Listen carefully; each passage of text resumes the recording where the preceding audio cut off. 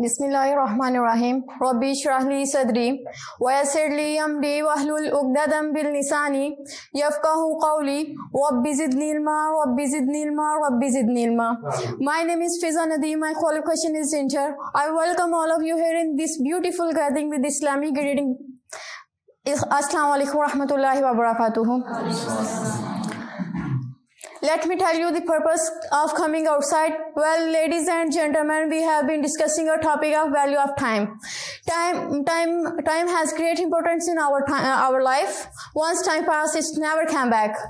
Times leave him behind who does not value it. With the right use of value of time, we can create a great future.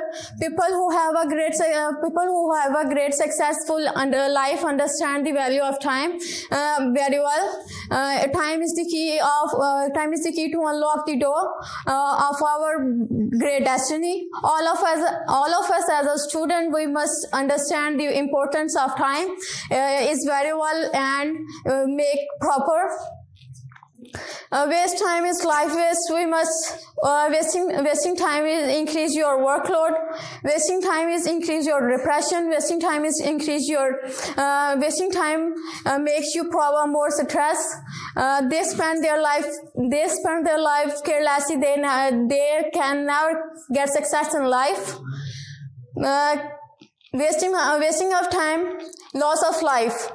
I have some suggestion for you we should always make good good use of our time.